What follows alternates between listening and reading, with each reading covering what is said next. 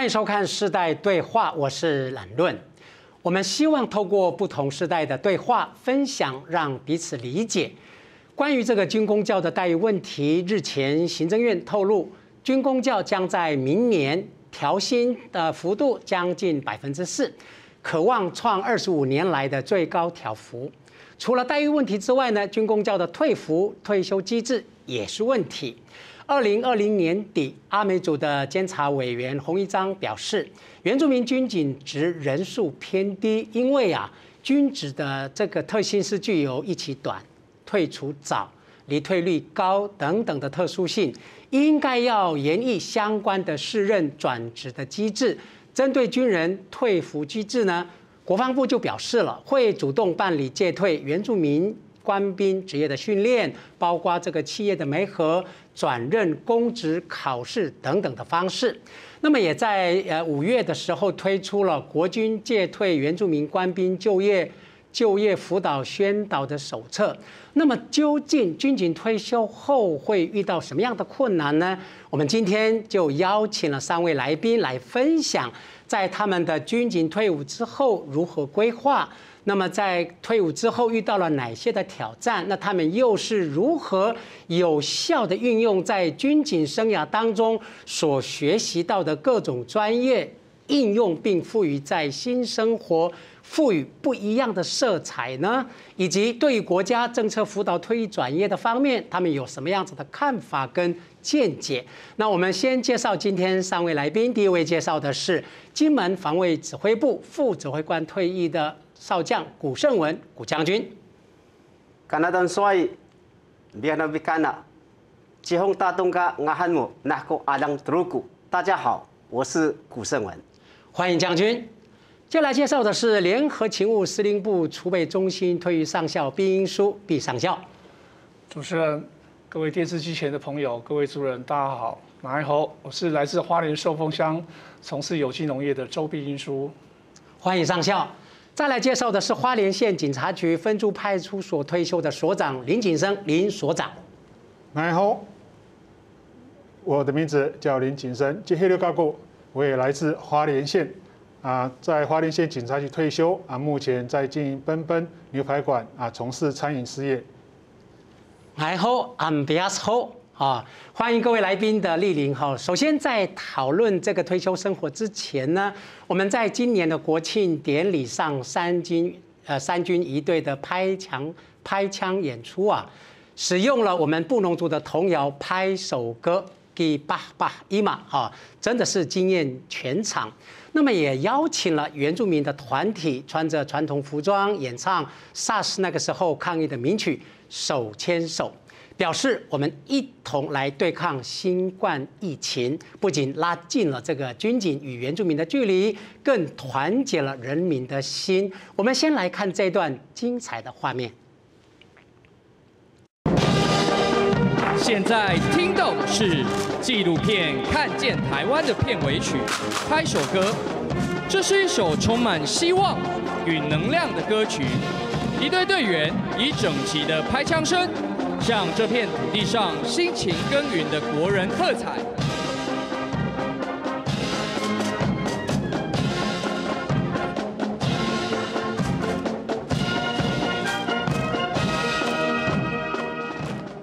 我请礼赞。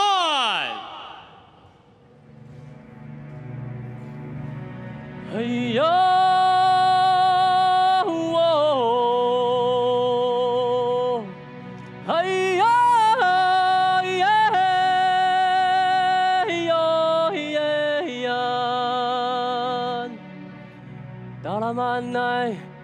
！Lumi al anini Maratzai kita ami pahmak tu kawas Oh ji selai Oh ji tanangai Oh hong ti nu hong ti Oh tapang nu tapang kisu wama Hey ya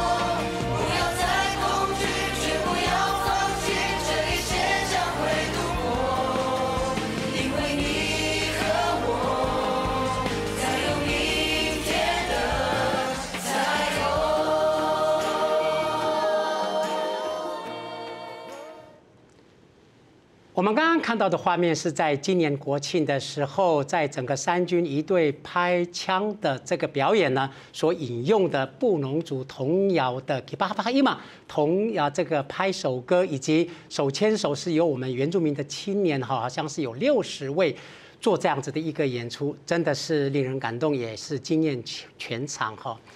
这个我就我们就想到将军在九十七年的时候，在花房部哈成立了两支这个元舞团，这是个一个非常有创意的这样子的一种创举啊，之前好像从来没有过在军中有这样子的一个社团。那我想请教一下将军的时候，就当初是什么样子的一个想法，要成立这样子的一个舞团，而且成员好像都是我们原住民的弟兄。那你退伍之后，这些呃，这个团队还还在吗？那你们当初成立这个社团，那部队里面是怎么运用这个社团？呃，当初成立这个演武团啊，它有其的渊源在啊，因为呃，我刚刚从金门呐那个调回来啊，调到连连勤，那当时是连勤的二支部，那因为。连勤的所有驻地哦，有部分，尤其是油弹库，都在盐乡部落里面啊。对，呃，对，他在盐乡部落，所以，呃，为了要呃当时的呃那个军民的关系是有一点紧张啦。啊，所以刚好有一个我的处长也是布农族的，就跟我建议讲说，哎，我们来成立一个盐务团，嗯，来拉近这个军民之间的关系。呃，那个时候就。招了几个原住民，大概就十八位哦，十八位来参与，啊，跟着到秀林乡，啊，到海端乡，啊，到台东市卑南乡，都分别去表演啊。没想到这个，呃，军民之间呢，呃，这个感情会越来越好，嗯，越来越好。哎，之后呢，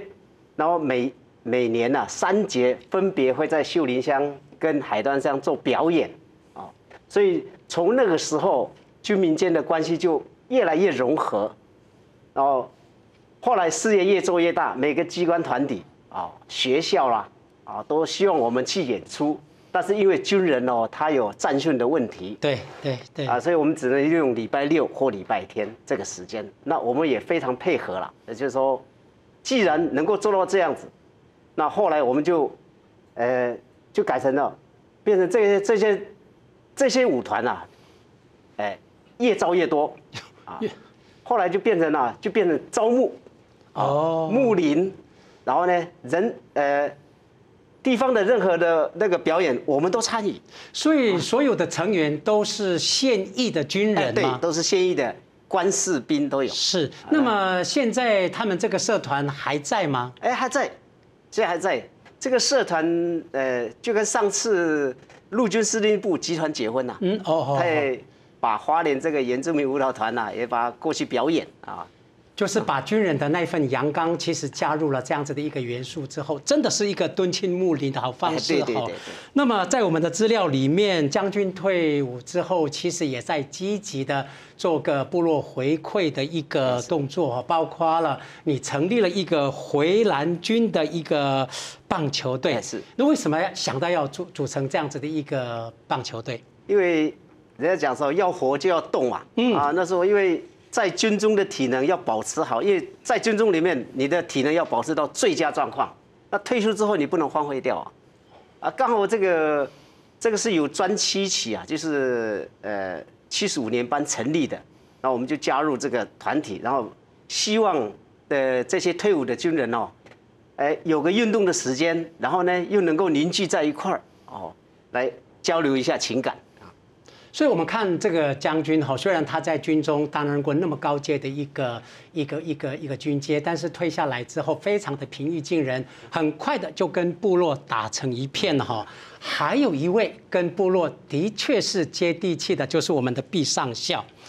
呃，毕上校，这个我们知道，你在从你的脸书上面看到。你退伍之后就直接的融入到你现在的原生好物农场哦，经营这个有机的农农场，分享一下这个过程。本身你对这个花花草草就有兴趣吗？还是什么样子的因缘机会啊？是，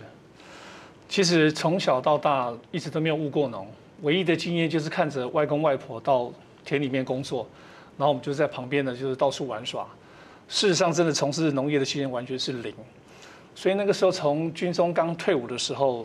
就直接就去考了外语领队跟华语导游。那从事旅游行业很久，但是后来因为旅游业慢慢慢慢就没有这么的兴盛，也不想不愿意在家里面再等待，所以后来就回到我老婆他们花莲这个家族就帮忙协助。那后来看到他们在种菜的时候，也觉得说这个行业应该是还蛮简单的，嗯结果没想到真的踏入军训之后呢，才发现农业其实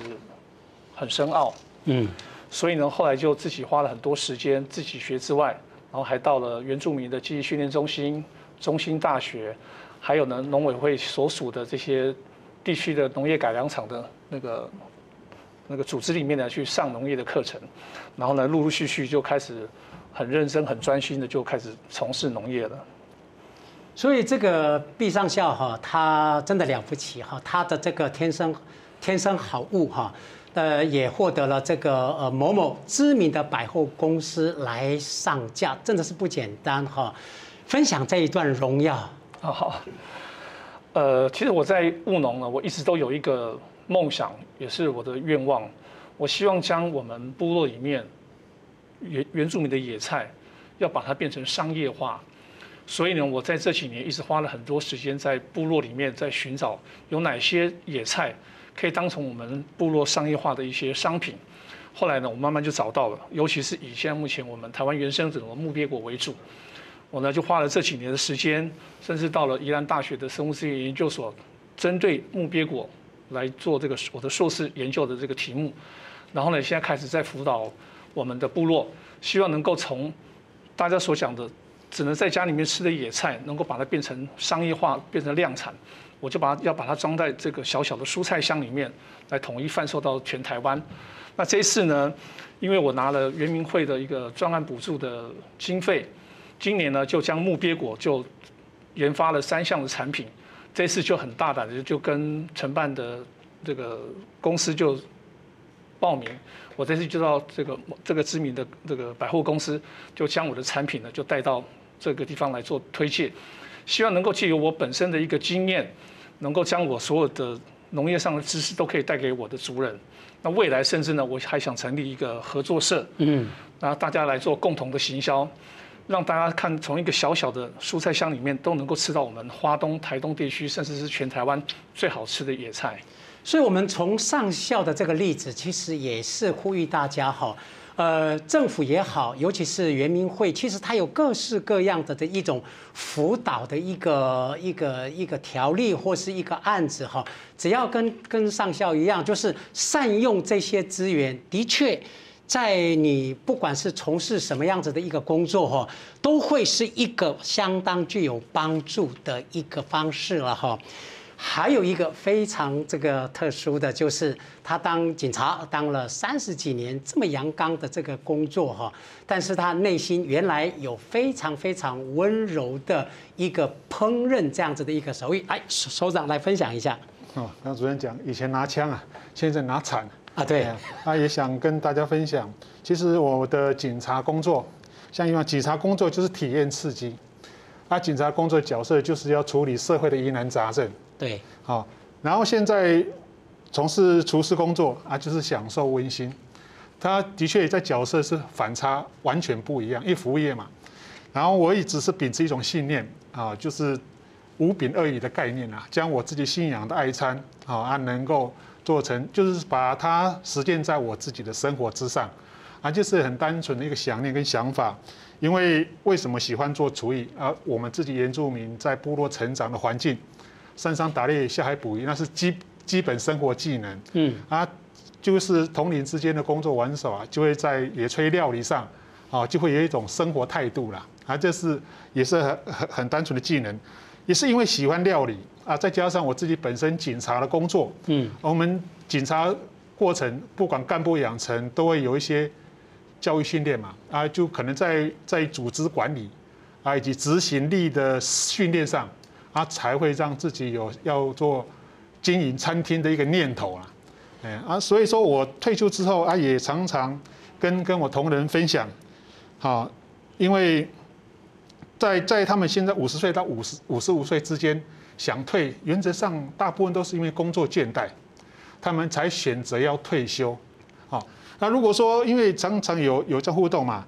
因为像我个人为例，我这四年啊开了七家实体店面，嗯，两部行动餐车，啊，出社会才了解，啊，要出来创业确实会很多的不简单，因为做中学嘛，啊，做中学，啊，所以我上跟跟跟跟。跟那个想退休的，如果说你今天是因为工作倦怠，就要好好的修身养性，因为我们紧职工作可以内勤可以做到六十五岁，嗯，好，六十五岁大概虽然能力只能做经验传承，那实实物实力去操作可能会比较累，啊，比较累啊，所以我在在这段过程当中都有跟族人上面做一个比较，考警察是一个很好的事业别，啊，当了警察之后啊，真的因为他。给予的条件，在职进修啊等等的，都会都会比较稳定，就是要有那样子的一个前置的规划跟缜密的这个生涯了哈。是。刚刚所长有提到一个口号叫“五品二饮”，五品二饮。对，这个是哪五品？呃，五饼就是我们自己在在教会上上面的一个概念。哦，那个是教会的一些概概念了哈。呃，那除除了这个呃这个烹饪之外。所长这边也会利用假日的时间，把你的那些学习的成成就回馈到部落这一段，可不可以简简短的跟大家分享一下？啊，可以，因为像部落，它比较算是要接触西餐美食是比较，因为要走到市区嘛，毕竟在部落，沿尤其是沿乡部落有一段的车程，啊，那小朋友他也不是说想吃，像他因为生活便利性，如果说我的行动餐车开过去，啊，原则上。我们以回馈部落态度，因为部落是一个很美的地方。呃，我自己因为在都都市里面工作，啊，回乡之后才知道部落之美，啊，因为孩子的淳朴等等的，所以说我自己行动餐车，因为机动性高，当时也是这种想法。我的行动餐车到部落去，主动提供美食，啊，然后势必也有很多弱势啦，因为进到部落才知道部落的的弱势族群，老实讲也不少，他们也。也也也也会消费不起，然后可能五十块的面，啊，也会对他来讲也是个经济负担。是啊，因为上我觉得跟派出所那，因为派出所他才了解，嗯，真正的弱势家人是谁，然后就会跟他们配合。就是这个所所长利用在还在勤的时候，其实已经观察了这么细的一个社会百态。是。那退休之后就刚好把那个时候你所看到的做一个补足了哈。好，这一段呢，我们这个请将军在做最后的一个这一段，就是我们这样子听了以后，呃，不管是军人或是警察退下来之后，都只要有心规划，都会有一些的能力，就可以回馈部落。这是什么样子的一个养成？这个养成呢，就是因为在国军里面哈，它的养成教育是非常扎实的。你把那个，因为原住民他本来就有勤劳跟。很坚韧的意志、意志力在，所以你把这些精神啊推广到社会上去啊，它是绝对有用、有帮助的。是的，好，我们这一段呢谈到这边，我们先休息一下，马上回来继续我们讨论的议题。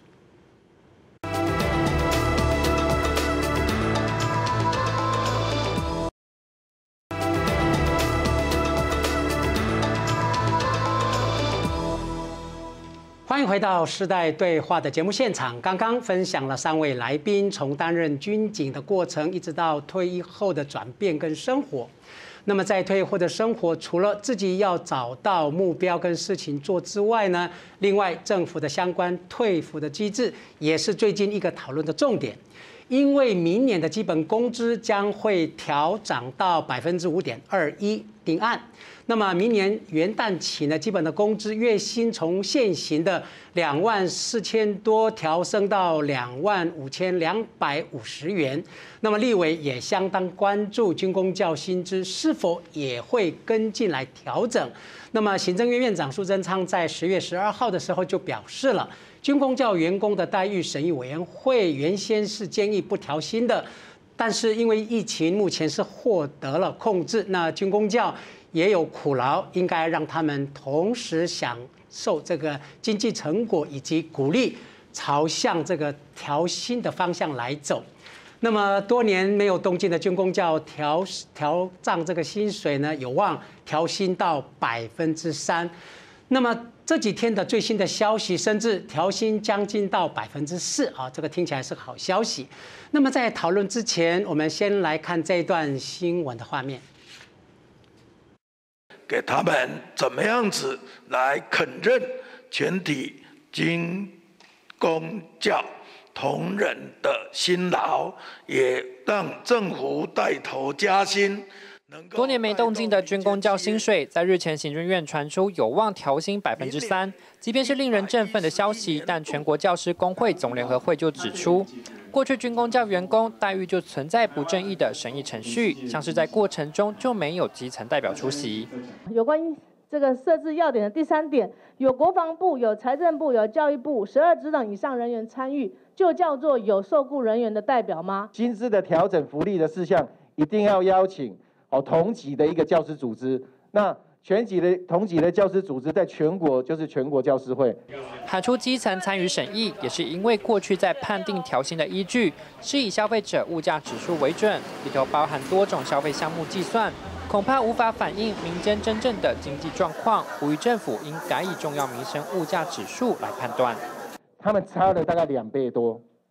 也就是说，我们如果用哦消费者物价指数。那有可能，因为消费者物价指数包含三百多项的各项的一个民生的一个物资，包括娱乐哦，甚至一些杂志的部分。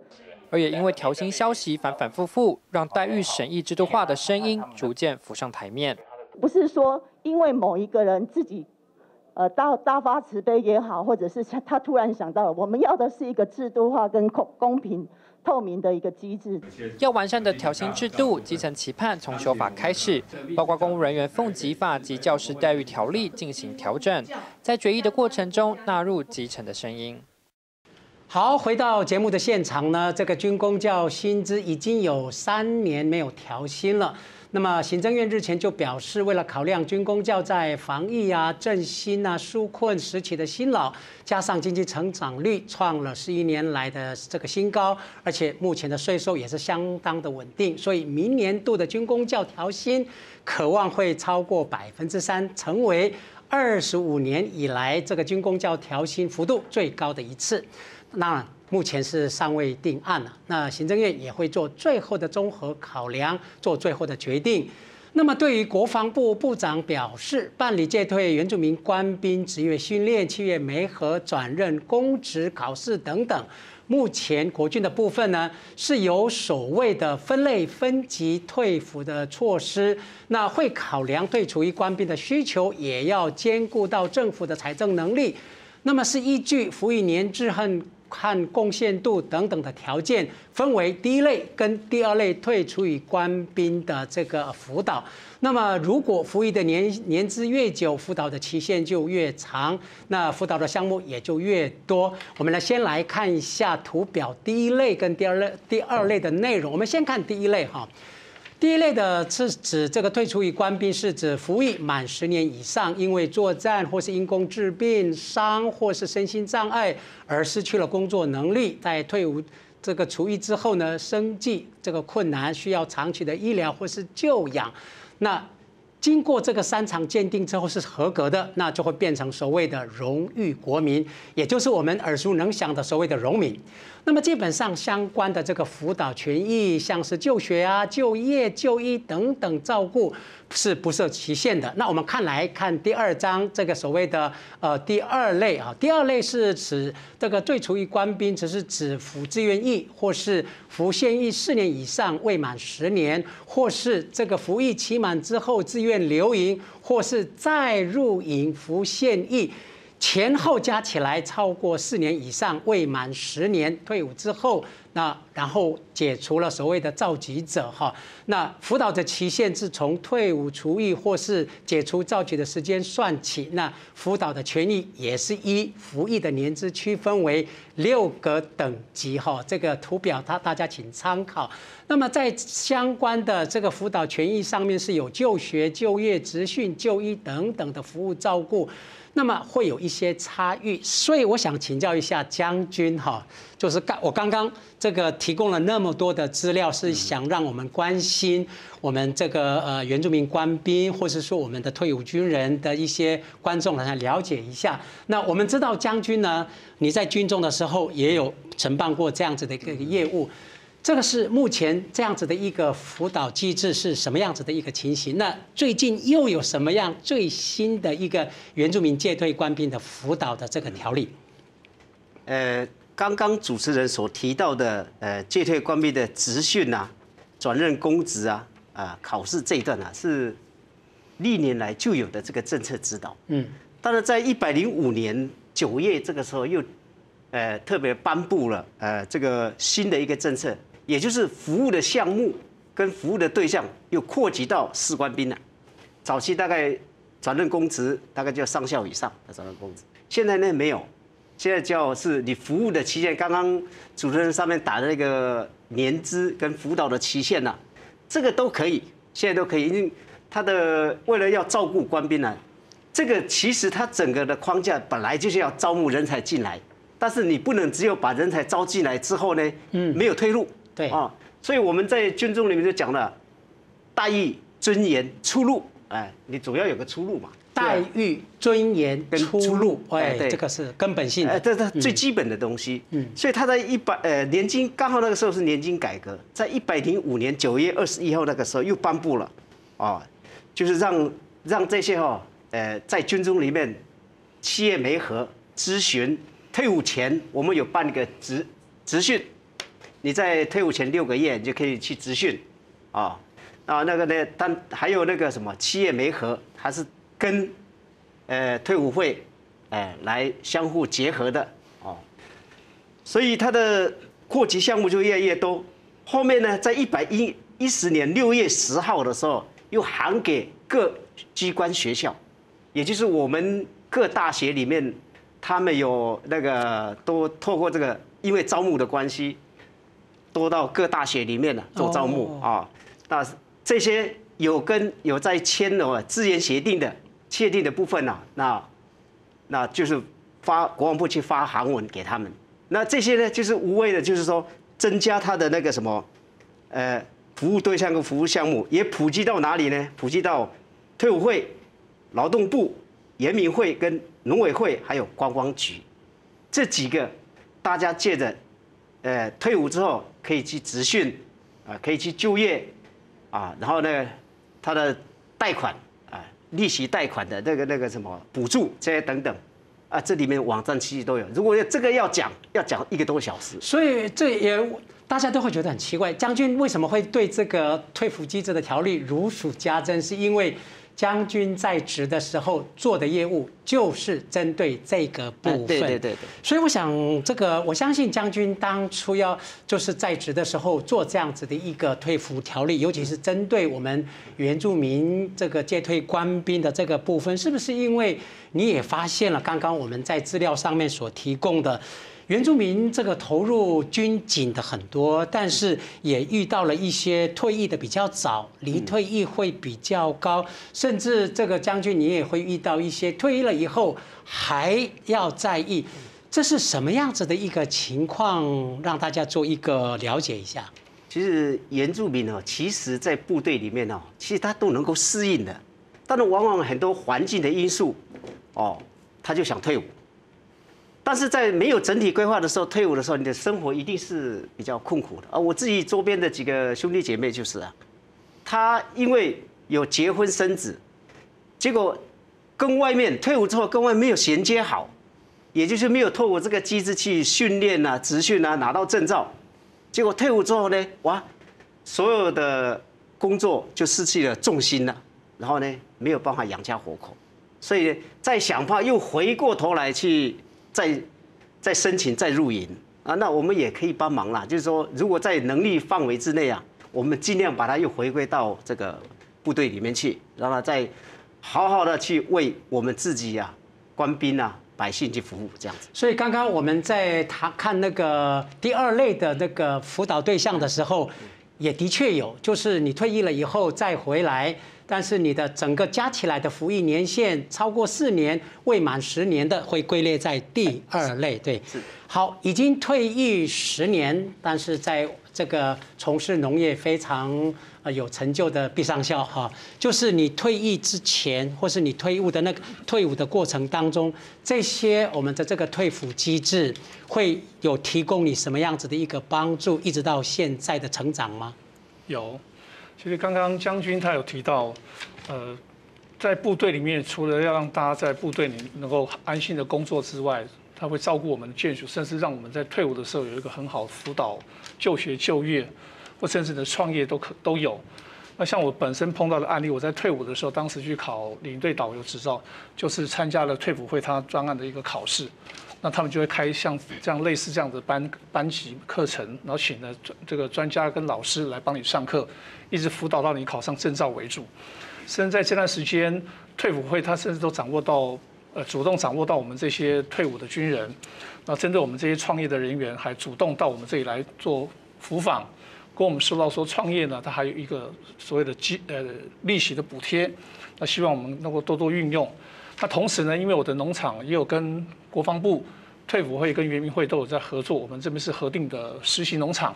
所以呢，当接退官兵很多，他们都对农业有兴趣的，嗯，哦。甚至都有人到我这里来来这个实习过，其中就有两位都是原住民。那后来他们回去之后，都在台东就实际在从事他的务农的工作。我相信现在在军中，其实他做的呃有关退伍这个机制做得非常好。但是其实我要想要提醒一下，不管现在在现职或是准备要退役的官兵，要了解自己的性向很重要。对，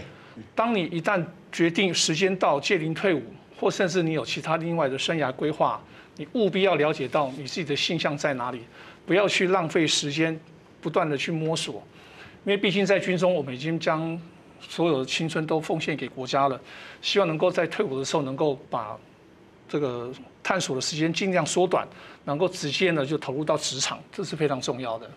这个上校的那个呼吁非常的重要哈。刚刚将军所提到的，会有人可能觉得外外外面的生活啊怎么样啊，机会怎么样啦，没有按照自己的性向，也没有按照自己的去调调查去了解，人云亦云，很容易会陷入到原来想象中的落差是非常的大。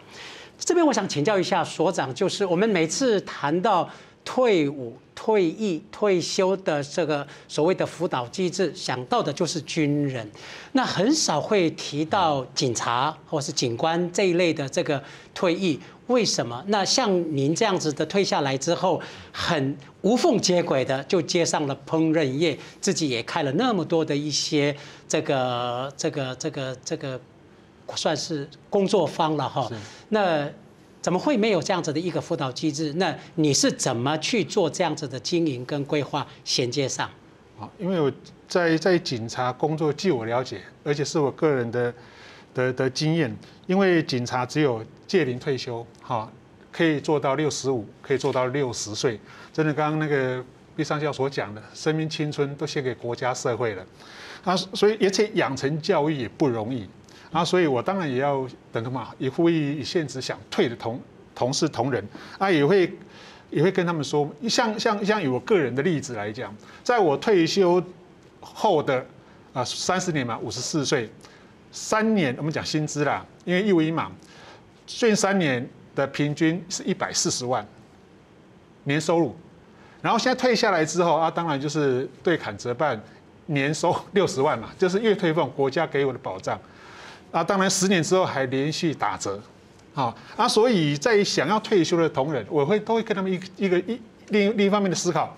你退下来，如果说你没有房贷，你没有车贷，你没有经济压力，没有包袱，哦，那就退下来修身养性，因为警职的平均寿命比一般公务人还短，嗯，就修身养性就好了，嗯，哎，那那所以说在在自己的考量上，如果说你今天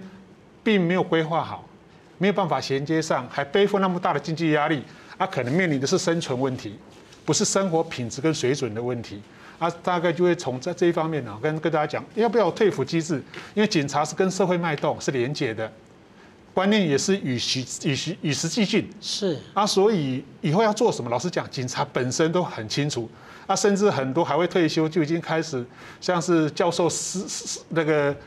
授课教师的那种级别了。嗯嗯。但是为什么不能做？啊，可能就是体力啊等等方面执行力的问题啊。像我觉得说，因为我认为我受过受过这一方面的专业训练，而我的体力尚可，而我自己也有心从事自己想做的事情，对，喜欢做就不会累，嗯，哎啊，大概就是这方面衔接上啊，所以说自己本身也会做得很愉快。但是想退休的台湾人，我会请他考量清楚，盘点一下自己的资产，哎，不要退下来是面临生存问题。这个从所长的谈话当中，他一再的强调，就是要修身养性，活得久，领得久，人生就赢了哈。在这个地方，我想请教一下将军，就是刚刚我们也提到，呃，有调整啊心智的这个空间。当然，对于我们这个部落也好，或是说我们的这个原住民青年啊，想要从事这个军警的哈，呃，应该也是一个诱因了哈。那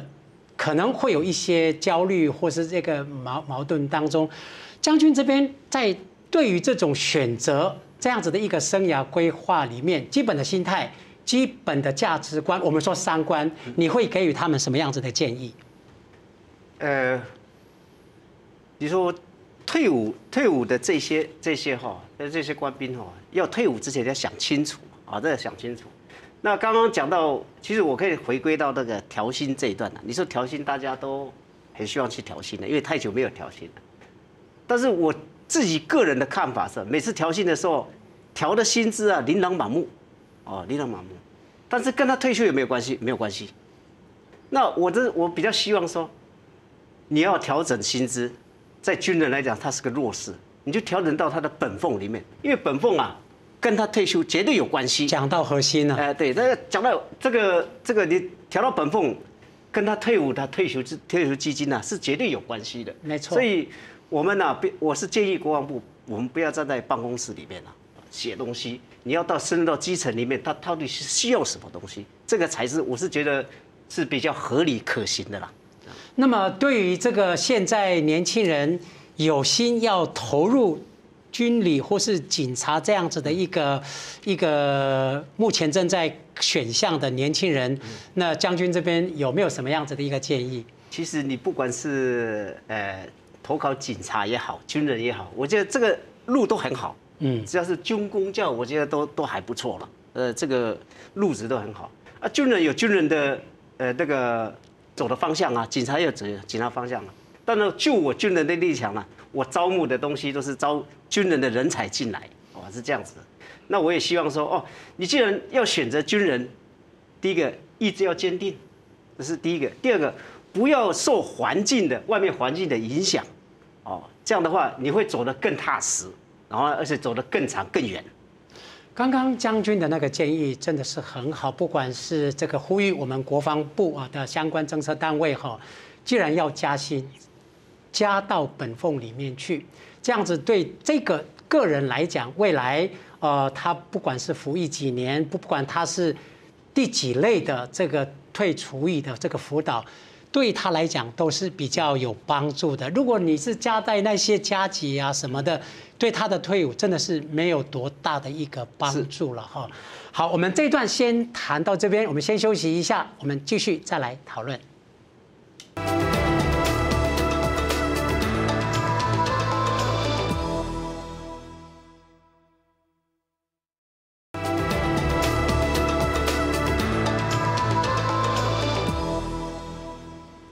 欢迎回到时代对话的节目现场。这个地方，我想先从这个所长这边请教一下哈，因为所长这边哈真的是这个对烹饪相当有，应该说是天分哈。那么也也邀约了花莲县原住民厨师哈，成立了叫原花莲县原住民创意美食交流协会。这是什么样子的一个协会？然后所长这边，你打算要用什么样子的一个平台把？阿美族的传统料理，或是你现在的这个这个所所研究的这个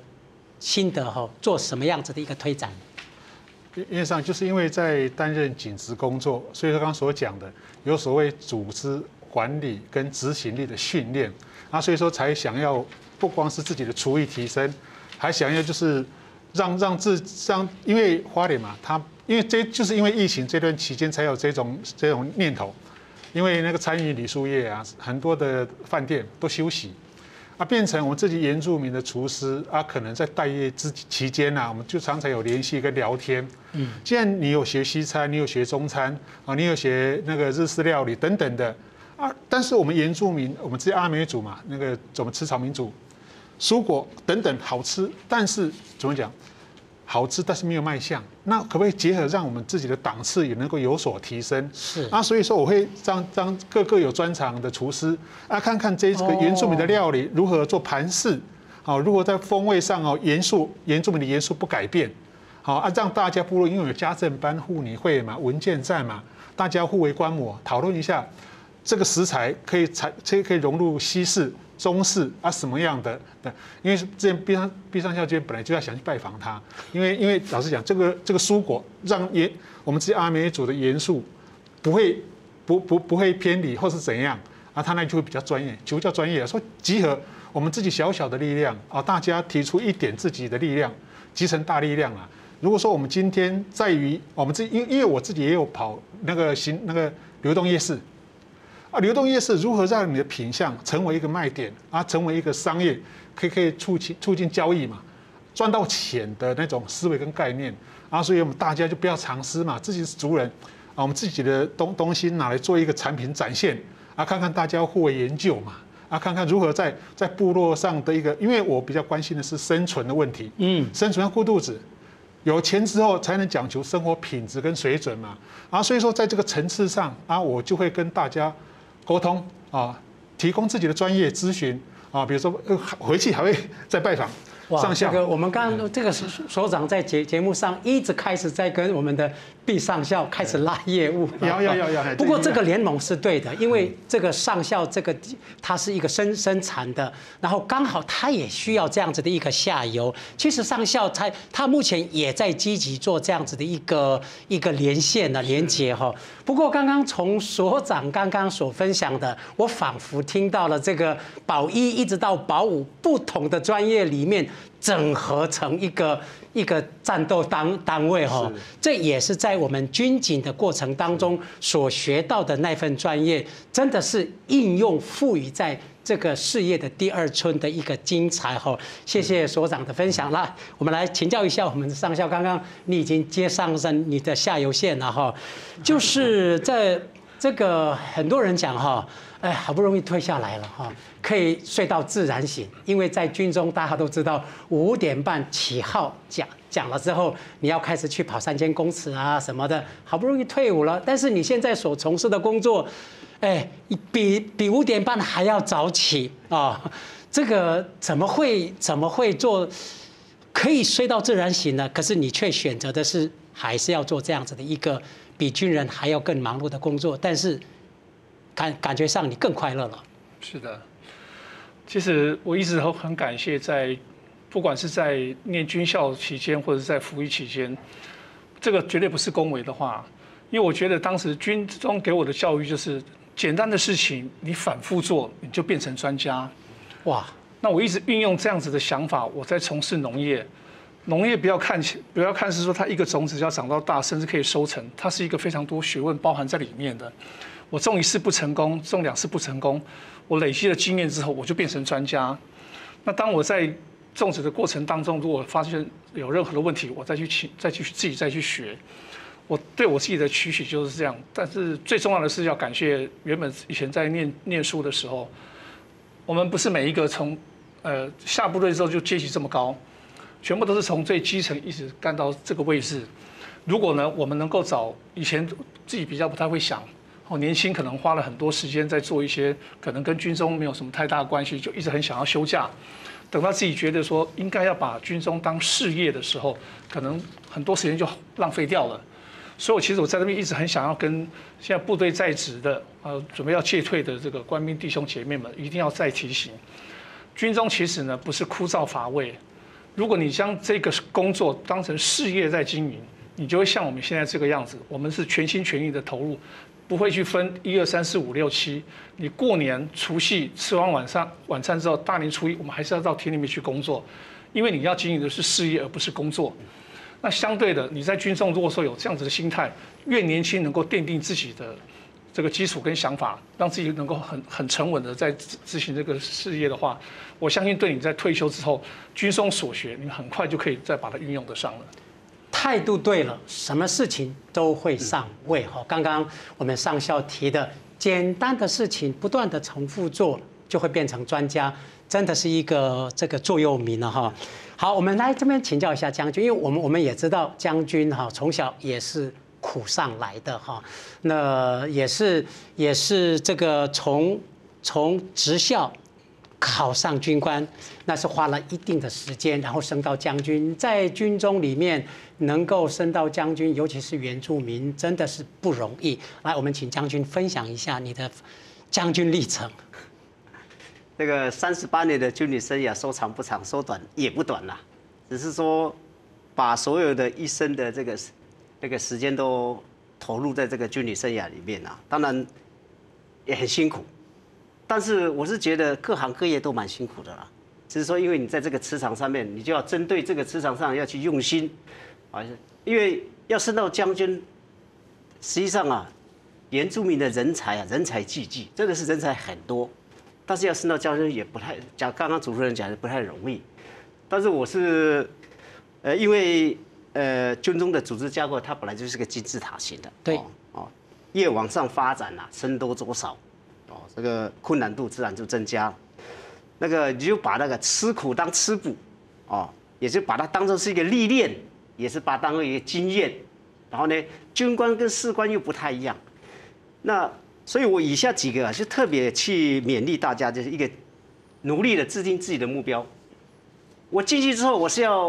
我不管是士官，我什么时间、什么点可以升到士官长啊？那军官的部分。从少尉一直到上校这一段，然后再升到少将这一段，那每个阶层、每个阶段